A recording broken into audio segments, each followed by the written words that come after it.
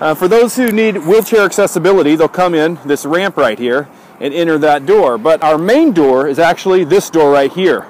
So you'll walk in the main entrance this way.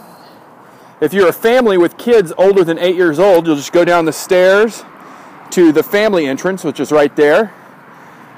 Everyone else will then head this way to go into our home. The doors being opened there. You can see,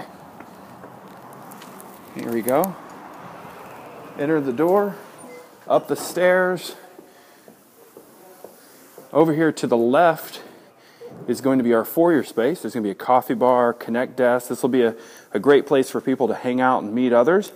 And then right here, directly to the right, is the sanctuary. So you'll go in here, find a seat, um, get ready to worship and learn learn the Bible. And headed this way is how we get to the bathroom. So I just want to show you this so you kind of know where you're going on Sunday. So you just head this way down the hallway to our new bathrooms.